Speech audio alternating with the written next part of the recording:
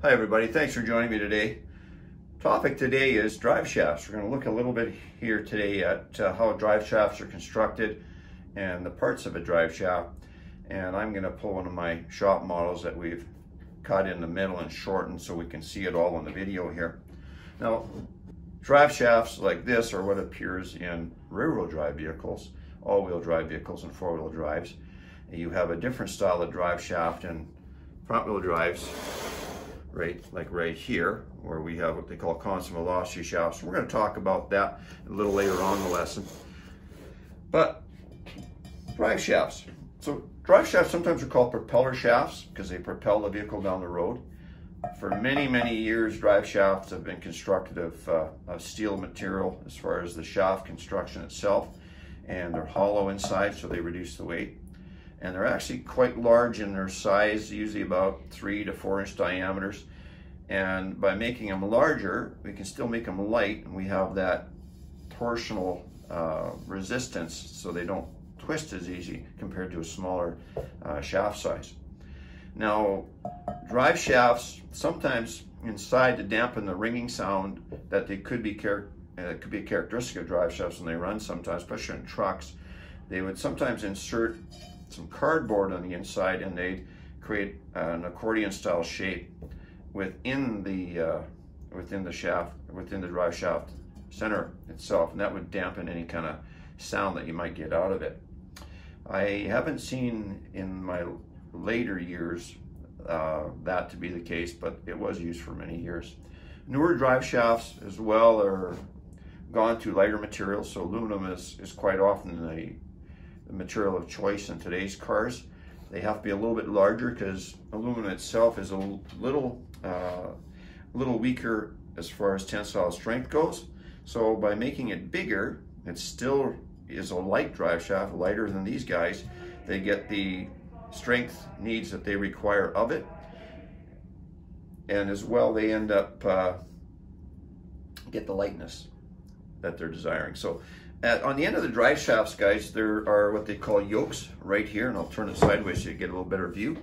And in the yoke assembly itself, they place universal joints. Now, the universal joints are there, of course, to allow the drive shaft to turn and meet different angles between the, the transmission end and the drive shaft itself and the differential end that it goes to, where it's driving. If we look at a typical universal joint, how it's constructed, got one taken out. When we pull it out of the yoke assemblies, and here I have a slip yoke. This one goes into the transmission. It's got splines on the end of it. And this sits in a transmission and the U-joint fits into the yoke itself. Now, the universal joints, sometimes called Hooke joints or cardan joints, look like this inside. There's a special machine surface called a trunnion. So there's four trunnions on the center cross assembly. These are also sometimes called cross and rollers because they have a cross in the middle and rollers on the end. They are uh, designed to have little tiny needle bearings inside. You can pull the seal off the end to see it. And those little needle bearings ride on the trunnions. Now the center is usually hollow on uh, some universal joints. They put a grease zerk in there so they are greasable, which isn't always that easy when they're installed on the car, but you can take them off and grease them in some cases or get a special adapter that'll fit in there and that grease would come through the center of the cross to every roller and fill it up. A lot of manufacturers have gone away from serviceable or greasable joints because people would overpack them, they'd damage the seals, and more grease isn't better if we're damaging the seals. So a lot of times now you buy a U-joint, you pre-pack it, or there's usually pre-packed when you got it in the case. I usually add a little bit, put it back in, and then we assemble it back in the yoke assemblies. Now, there's special instructions on how to do that. I won't do that today with you, but uh, they're often pressed out or some people use a vise and uh, a mallet to tap them out and then they use a vise to put them back in or a special press that puts them back in. So there's your cross and roller universal. Now, drive shafts will often have uh, they call a slip yoke on the end, which I just mentioned. That slip yoke has splines in it, so it can go into the transmission. Why do we need a slip yoke?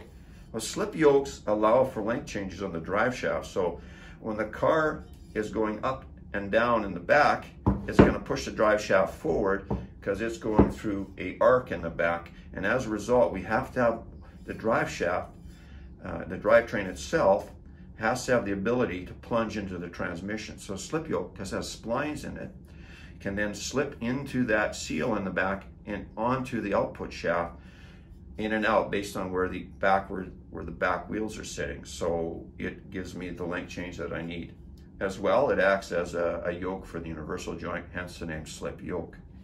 Now the back joint itself, in this case, is bolted onto the differential. And this is just a single one-piece drive shaft. Not all drive shafts are one piece. Some drive shafts are two-piece or even three-piece drive shafts when you get into bigger vehicles. And if they're going to use three-piece drive shafts, they need to have a bearing in the middle. I've got an example of one. I only got the front half of this drive shaft. You can see the front slip yoke uh, here, but you can see that it's got a special rubber mounted bearing. This is called a center bearing or a steady bearing, and the back drive shaft would take off from there. Now these guys are pretty durable, but sometimes they fail. You know, you get to a certain mileage on the vehicle and the, the bearing life uh, is kind of at its end. The rubber breaks down on them and they can sometimes start vibrating in the vehicle. And if they seize up on there, it can cause a, a real noticeable problem. You get a lot of uh, heavy shuddering under the vehicle, shaking, and and uh, can sometimes even feel like you got a uh, you got a real wobble going on your car, but it's all sent from the underneath your vehicle at the center bearing as this whoops around in there. It really can be quite alarming when it happens. So if you start hearing your drive shaft starting to make noise, you're hearing vehicles under the center of the vehicle, uh, it's time to start looking at the drive shaft's center bearing condition if you have one, and also universal joints. And by the way, when universal joints start to fail, it's not uncommon when you put them in gear to hear a clanking sound when they go in gear forward uh, or into reverse. And sometimes they start squeaking when you take off. They'll make that characteristic squeak, squeak, squeak, squeak, squeak, squeak, squeak, squeak, squeak sound coming up from the middle of the vehicle. All right, so that is a typical rear-wheel drive drive shaft or propeller shaft. And it's universal joints and center bearing and slip joint or slip yoke. And by the way, while we're, while we're, before we leave that topic, we even use universal joints in steering columns. Here's the, uh, the joint out of a steering column. It has too many, too many universal joints on it. So when we move our steering one way, we can actually send that down at an angle to the, to the steering column and drive it nice and smoothly. A little note about uh, universal joints when they operate. Universal joints ideally run best at about two to four degrees. We don't want them straight because we want a little bit of movement on those joints because otherwise we cut little grooves in the uh, universal joint trunnions here if they're in one position. So we want to have a little bit of movement going on. Two to four degrees is ideal. Uh, the maximum these guys can run at is about 10 degrees. So once we start getting to 10 degrees, that's getting to the uh, high side of the allowable angle that we can run on them. I know guys like to jack their vehicles up quite high. When they do that, we start robbing quite a bit of power out of those vehicles, trying to turn it to that high angle. And not only that, it can set up a really cyclical vibration between the input side of the drive shaft and the drive shaft itself and ends up with a vibrational issue. So they're not meant to operate on high angles. I'm just gonna set this aside for now. And you can see under here, guys, the drive shaft on this specific vehicle traveling down. This is a four-wheel drive GMC Jimmy, and you can see the front slip yoke assembly going into the automatic transmission in this case. I want to show you another drive shaft that's also under this vehicle. This is a four-wheel drive, so you can see a small drive shaft right here. A little harder to see, but you can see the driving the front differential assembly. And where it goes, it goes to the transfer case in the middle of the vehicle that's in the transfer case that's just behind the transmission. Transfer case really is, is, is a transmission. It's a type of transmission that allows the propeller shaft to be turned both to the front differential and the back. Okay, I want to show you a little bit about this style of drive shaft itself, which is a CV shaft, or sometimes called half shafts. They sit on the in the front of the vehicle, and we'll we'll look at that under a vehicle too as well. But this is a typical front wheel drive CV shaft. Now this one has two joints on it. Each car has a shaft on each side and it has two joints on each side. An inboard joint is called, uh, sorry, it's right here's the inboard joint, and the outboard joint, which connects to the wheel and turns the wheel. Now the inboard joint of cars has to have the ability to plunge, and you can see this one here, it plunges, so it's called a plunging joint, and when the wheel goes up and down, the drive shaft will also go in and out, and depending on the suspension position on it. The drive shaft itself on the CV joint has a splined end on it, which fits into the transaxle, which is a front wheel drive transmission. There's a seal in the transmission to our transaxle to prevent the oil from coming out, and the splines go into the side gears of the differential. When the differential turns, it sends power to the half shaft, which then turns the wheel.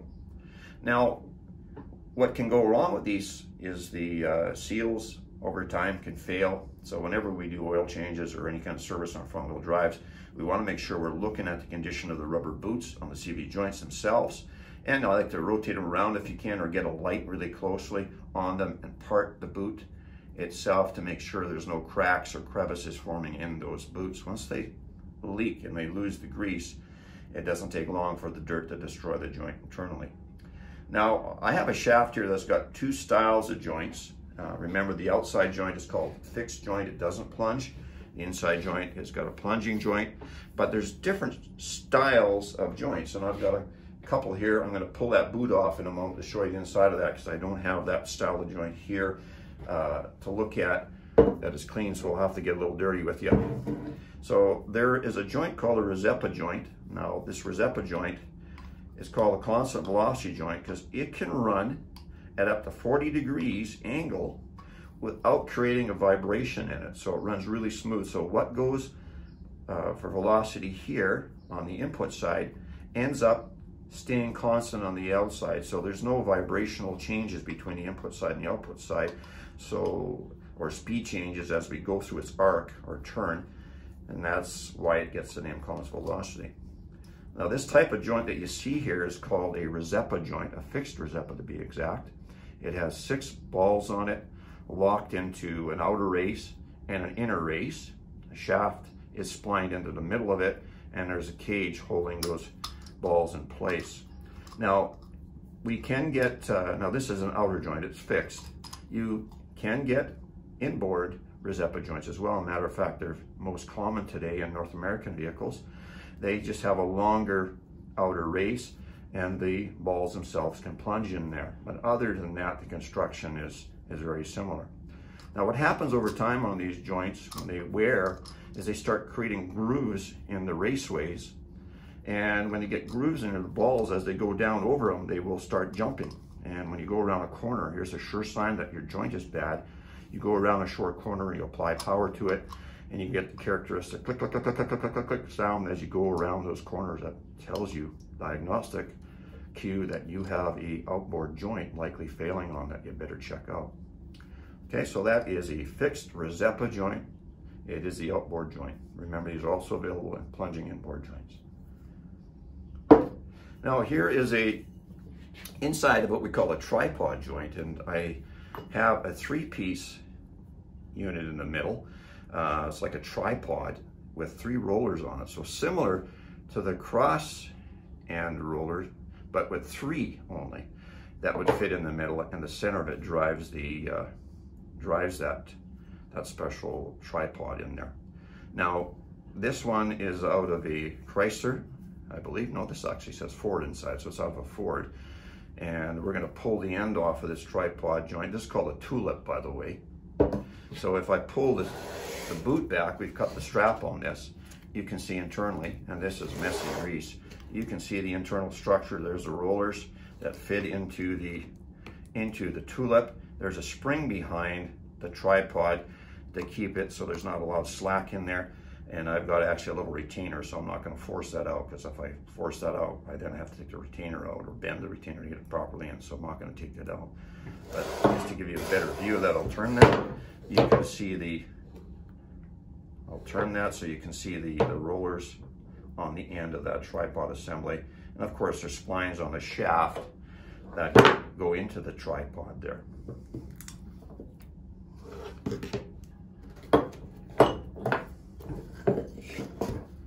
All right, so that is your half shaft.